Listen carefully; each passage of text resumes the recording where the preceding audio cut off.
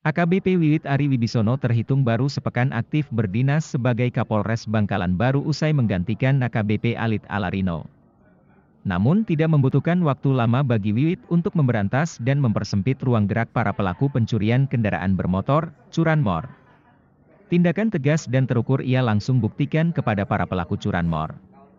Sebanyak tiga dari lima anggota sindikat pelaku curanmor merasakan pesan keras dari mantan Kapolres Pacitan kelahiran Jakarta itu. Tidak ada ruang bagi para pelaku curanmor, curas, pencurian dengan kekerasan, dan curat, pencurian dengan pemberatan, di Kabupaten Bangkalan, tegas Wiwit dalam siaran pers ungkap kasus Satreskrim Polres Bangkalan, Senin, 26 Juli 2022. Kelima pelaku curanmor itu dihadirkan dalam siaran pers, tiga di antaranya harus berjalan tertatih menggunakan tongkat setelah timah panas menerjang bagian kaki. Kelima tersangka itu yakni S, 25 tahun, warga desa Ketapang Barat, Kecamatan Ketapang, Sampang.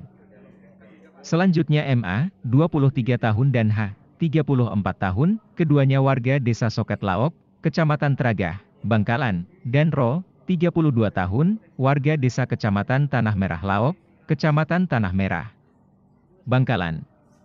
Barang bukti yang dihadirkan berupa dua unit sepeda motor Honda ADV 150 bernopol B5283 bas dan Honda Vario 150 bernopol M2603 HZ, dan sebuah senjata api jenis revolver lengkap dengan empat butir peluru aktif.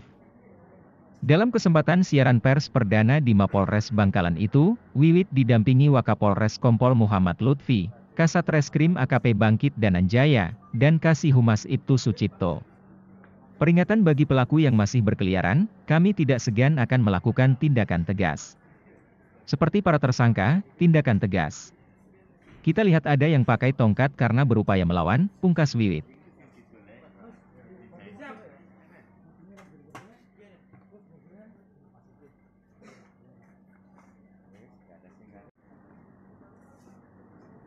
Jangan lupa, like, subscribe, serta nyalakan lonceng notifikasi agar selalu mendapat info dan konten menarik dari channel ini.